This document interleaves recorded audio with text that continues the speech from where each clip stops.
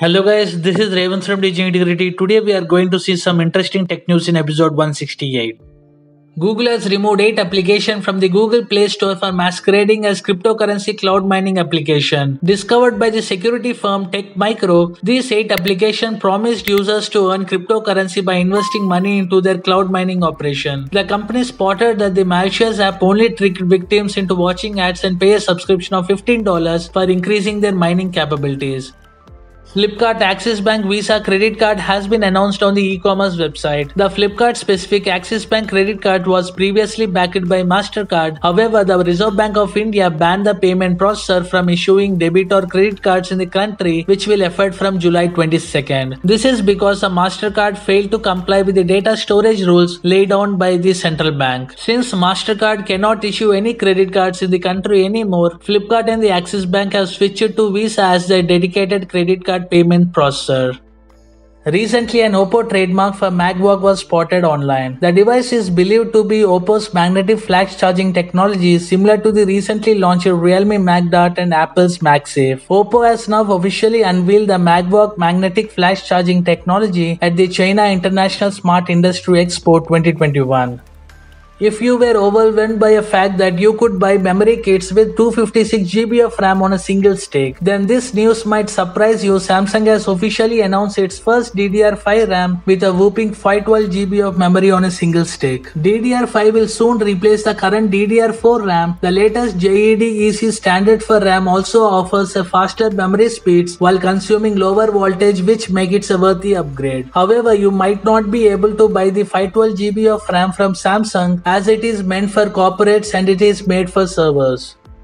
Today, Xiaomi announced that it will be hosting a new product launch event on 15 September 2021. While the company has yet to reveal which product it plans to unveiling next month, it is expected to launch Mi Pad 5 tablet series and the Mi 11T smartphone for the global market. A few days back, Xiaomi announced that it has been India's largest smartphone brand for the last four years. Today, the company says that it is the country's largest online smartphone brand in the 20,000 to 45,000 price segment. Redmi 10 Prime India launch date is set for September 3rd. This handset is speculated to be a rebranded version of standard Redmi 10. Redmi 10 Prime specifications could include a 6.5 inch display, MediaTek Helio G88 processor and a 5000 mAh battery. Xiaomi launched the Redmi Note 10 series earlier this year in India. The company initially launched three new devices, namely the Note 10, Note 10 Pro, and Note 10 Pro Max. The lineup was further expanded with the launch of Note 10s and Note 10T 5G. Amid the ongoing global chip shortage situation, it seems like Xiaomi is likely to halt the production of some of its devices. In Indonesia, Xiaomi has stopped the production of Redmi Note 10 and the company is asking users to consider buying other models under the series, which includes a Redmi Note 10 Pro, Note 10s and Note 10 5G. Realme C21 goes official in India as a latest C series phone. Realme C21Y specifications include a 6.5 inch display, Unisoc T610 processor, 13 megapixel primary camera, 5000 mAh battery and Android 11 OS. The Realme C21Y price in India is for rupees 8999 for the 3GB RAM and a 32GB storage and rupees 9999 for the 4GB RAM and a 64GB version. The Realme Narzo 50A has been spotted on the BIS and NBTC websites. The Narzo 50A is expected to launch in India soon and the Realme is likely skipping the Narzo 40 series.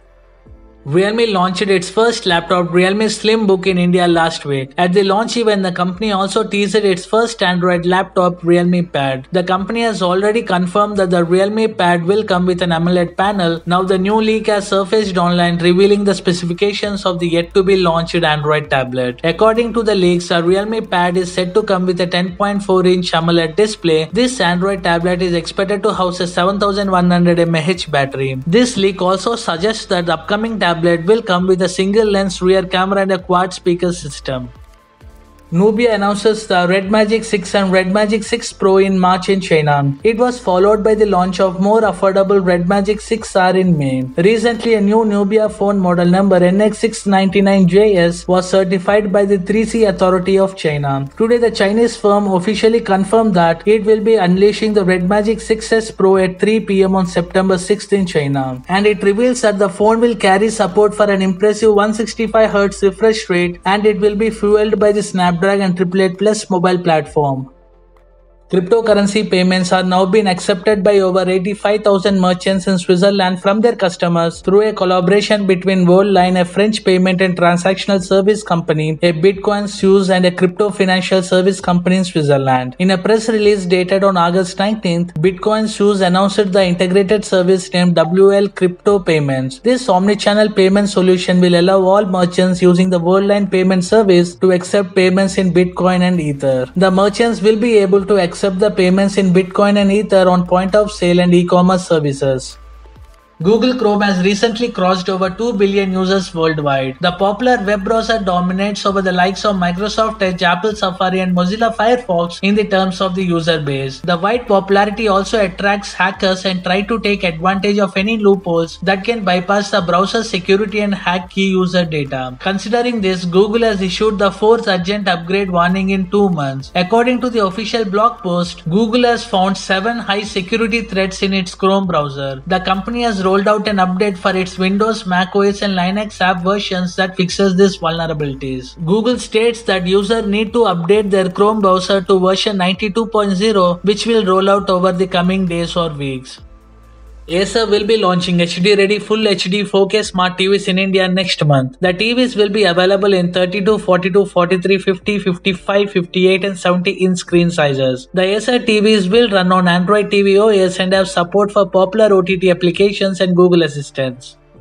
Indian smartphone market shipments are set to hit a record high of 173 million units in 2021 at a 14% of year-on-year growth. According to the reports, more than 100 million smartphones are expected to be shipped in second half of 2021. The market have seen and experiencing strong consumer demand after the lifting of COVID-19 restrictions in June. The strong sales momentum will continue during the festive season from August to November.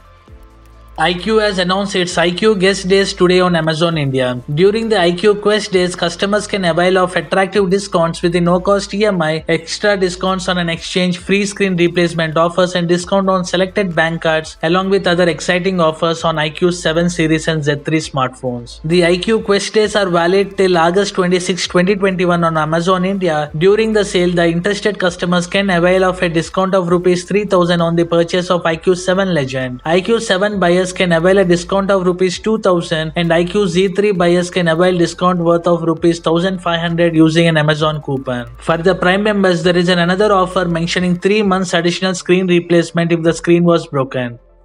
OnePlus 9 RT complete specifications have been leaked. This smartphone will feature a 6.55 inch AMOLED display, Snapdragon 870 processor, 50 megapixel primary camera and a 4500 mAh battery. OnePlus 9 RT is rumored to be launched in October.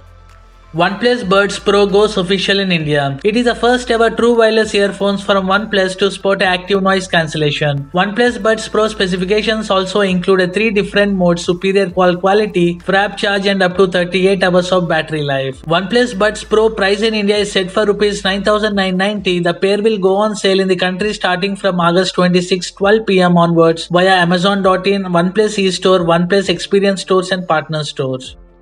Lava International Limited has just announced a new product in India. The device in question is a true new wireless earbuds called the ProBuds 2 that will seek to compete in the region's highly competitive true wireless market. The Lava ProBuds 2 feature a 14mm dynamic drivers that the company claims will deliver a powerful thumping bass. The Indian electronic product maker's new ProBuds 2 offers a 23 hours of battery life with the earbuds having 5 hours of audio playback while the charging base offers an additional 18 hours. Lava plans on launching the new wireless earphones on 26 August 2021 on its official online store, Amazon and Flipkart. The ProBuds 2 will be available in India for Rs 1699, although the company is offering the earbuds for a special introductory price of 1399 Indian rupees.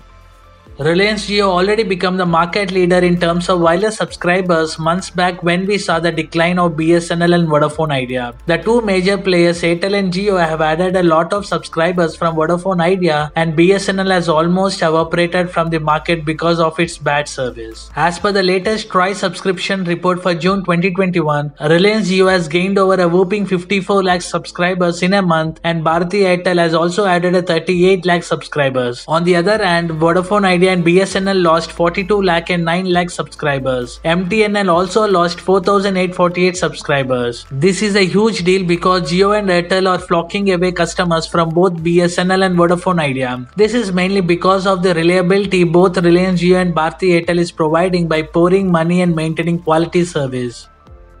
Thanks for watching this video. Please kindly support my channel by giving a like, share and subscribe. And follow Digi Integrity on Twitter, Instagram and Facebook.